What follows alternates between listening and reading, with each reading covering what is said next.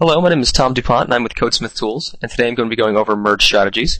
Merge strategies are pretty much what they sound like. It's what strategy is Codesmith going to use when it needs to merge a newly generated file with an existing file.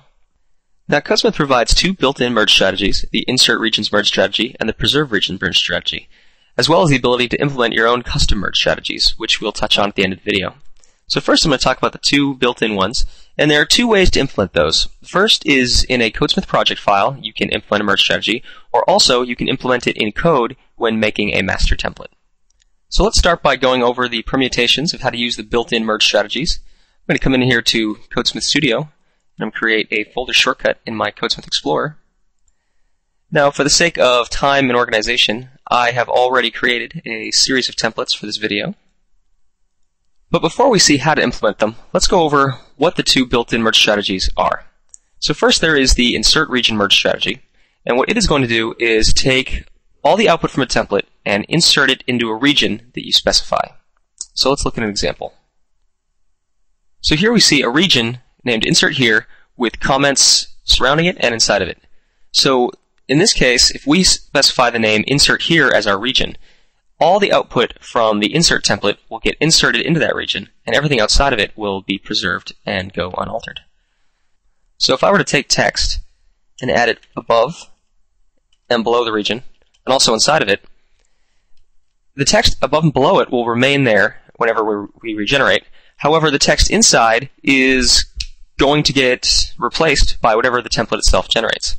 So if we look at our insert template here, you'll notice that all it's going to generate is a single line it says this text will reappear, which means we should see that this text returns to just being this text will reappear. So now let's look at the preserve region merge strategy. And again, let's start off by looking at some output. Now, this is very much the opposite of the insert region. The entire template is going to get regenerated and put out to the file. However, you can specify a region name regex, and any regions that match that name will be preserved from the original file. So they'll be brought out, the new one will be generated, and it'll be placed in their appropriate locations. So if we expand these regions, if, and we think about if we were to create a regex that just matched the word preserve, then this region would match preserve, this region would match preserve, and this region would not, since it's preserved with a D. So that would mean that any text added into here or here will um, remain and be persisted whenever regeneration occurs. However, anything outside of that, whether it be outside the regions or in any other specific regions, will be replaced with whatever the template generates. So again, I'm going to do the same things before. I'm just going to go ahead and paste text into all these locations. Now, when this gets regenerated, assuming again that we choose the regex expression for preserve, this text should remain, and this text should remain, but everything else should get reset by the template. So if we look over at our preserved template, you'll notice that everything should just turn back into this text will reappear, because this region will get restored, everything else will get restored. However, these two regions, preserve me and another preserve, will be preserved, and everything inside of them will just be replaced with whatever is in the existing file. So, if we save this, we can now go look at how to set up our projects, and then in a moment we'll be able to see what the actual output is. So if we select our project file, I have two outputs here. We have both the insert and the preserve templates. So let's look at one at a time. Let's first look at our insert template. So all we've done here is select our template, which has no properties we configured. Now I've gone ahead and added a um, custom output name for the file because I want it to appear in the output folder. And then here's where we're actually going to do the work. We're going to select out of this dropdown the insert region merge. And then we have to set up an initialization string. Now this takes, you have to know the syntax of this. It takes a little bit of knowledge, but it's fairly easy. You just have to do region name equals, and then you have to put in your region name that you want to do the insert on. And then you have to put a semicolon, followed by language equals, and then whatever language you're using. So in this case, we're generating C sharp. Now, if we look at our preserve output, so again, remarkably similar. We've just chosen the preserve.cst, and I've added a custom output name so that I can put it in the output folder. And then here we choose the preserve regions this time. And so this time we have a region name regex equals instead of just region name. And then my regex is just preserve with word boundaries around it. So not a very fancy regex string. And then semicolon, language equals, uh, in this case C sharp, semicolon. So again, important to note is that this takes in a region name regex because it could have multiple regions that match that regex as opposed to the insert has a single region where we'll insert the output. And something I feel I should mention here, if you do not specify a language, then it will default to whatever your template's target language is. So if we come back over, and no, we didn't make any changes.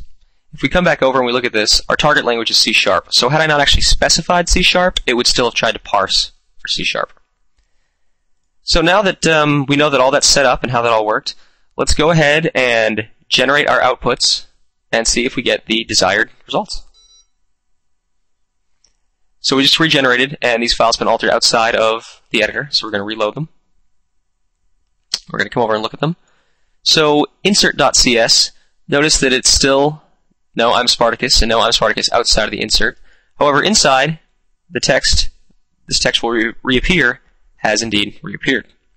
And if we look at the preserve CS, preserve me was preserved, another preserve was preserved, and everything else, the not preserved region and everything in between, was regenerated by the template. So there you go. That's the basic definition of the built-in merge strategies and how to implement them in our CS projects. Now, let's very quickly just go over and look at how to implement those if you are using master files as opposed to just project files. Now, I'm not going to focus very much on the master files, uh, just enough to show how to implement a merge strategy in them.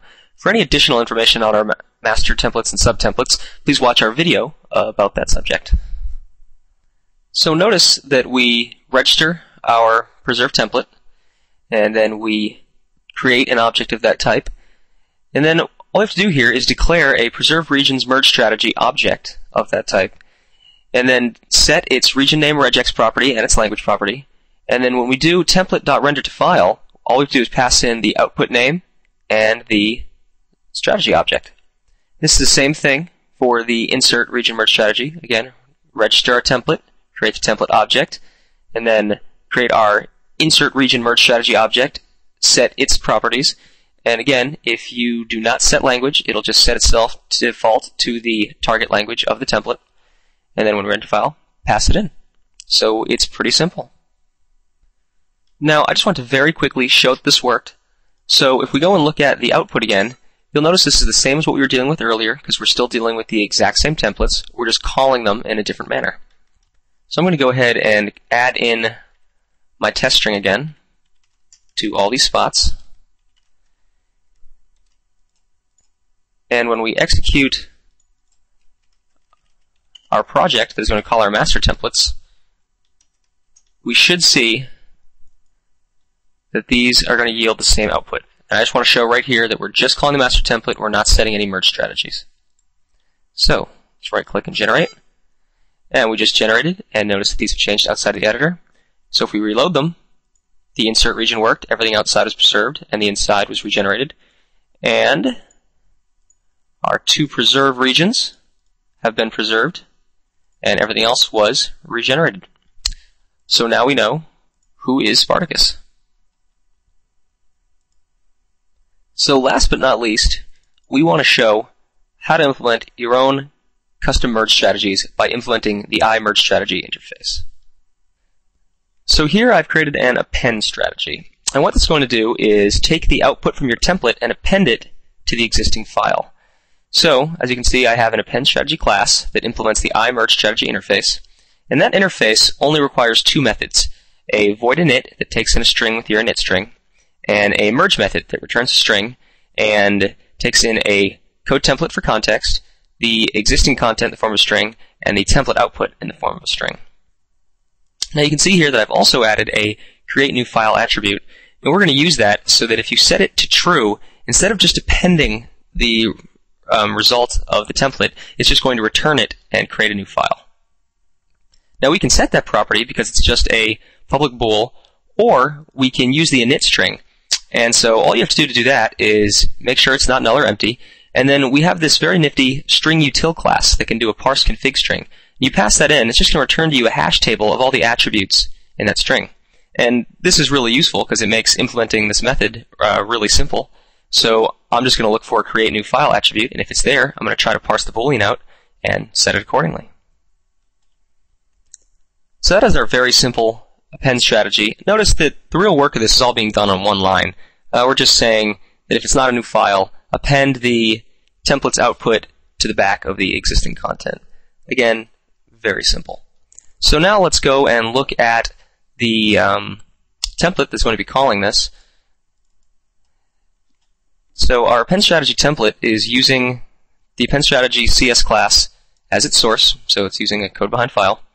And again, this is very similar to what we were doing earlier. Just register your append template, create an object of that type, and when we set the merge strategy, we're just going to instantiate a new append strategy object as an iMerge strategy and pass it into the render file, and that's going to generate our customly merged output.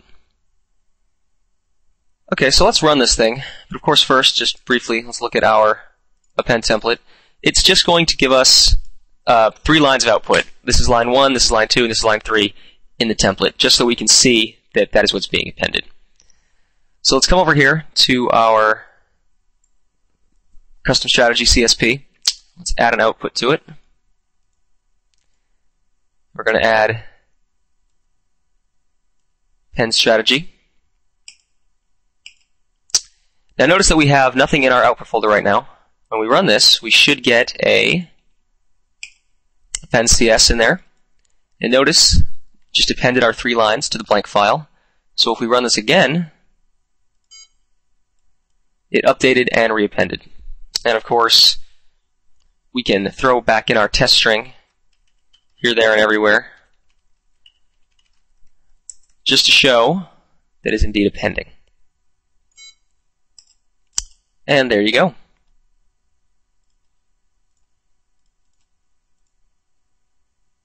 So now we have one more thing to look at, and that is how to register our custom merge strategy with Codesmith so that it can be used in our CSPs. Now, this isn't that difficult to do, but because it's a bit of a timely process, I'm going to just describe it to you as opposed to work the whole thing out. But I am going to show you the important steps. So the first thing you have to do is create a new class library in Visual Studio, and you have to make your strategy in that. In order to accomplish that, you're going to have to reference the codesmith.engine DLL. That is going to be in your C drive, program files, codesmith 50 bin, and it's going to be codesmith engine.dll. And of course, if you installed codesmith in a different location, it'll be in that place. So once you've referenced that in your project, then you can build your custom strategy. And when it compiles, you need to copy out your DLL and move it into the add-ins folder, which is in the same place, just right above bin, add-ins. You'll notice that I have added append strategy.dll. So once that's there, then you have to alter your Codesmith config so that it will know to look for it. That's going to be located under, in this case, this is Windows Vista, so if it's Windows XP, it'll be under your users folder.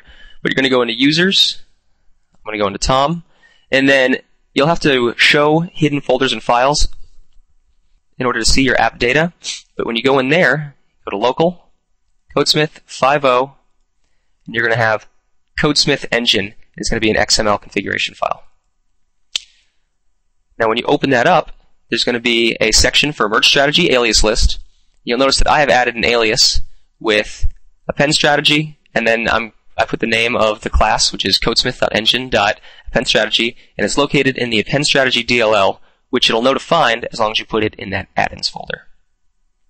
So once you've done all that, and you reboot CodeSmith Studio, you can come in, and when you go to Manage Your Outputs, you will notice that now whatever uh, merge strategy you added, in this case append strategy, it will now be in your merge strategy type list. Okay, so let's finally come and tie all this together. We're going to call our templates straight out of the CSPs using our append strategy. And we're even going to use our create new file property.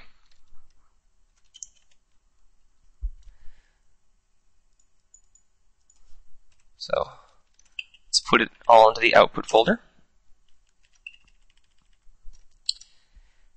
And let's add this two more times just so that we can see that it is indeed appending and that the first time it is creating a new file. So just one more time here.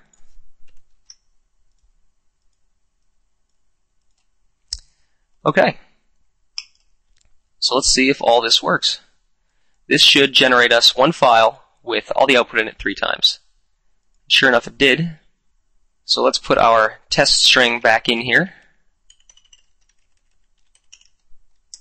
and see if it clears the file and generates it again.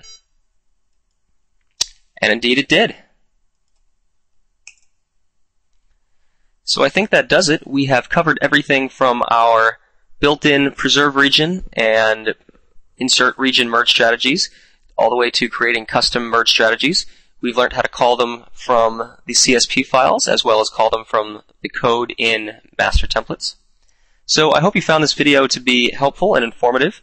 If you have any questions, comments, or suggestions for future videos, please contact us at community.codesmithtools.com. My name is Tom DuPont, and thank you very much for using CodeSmith.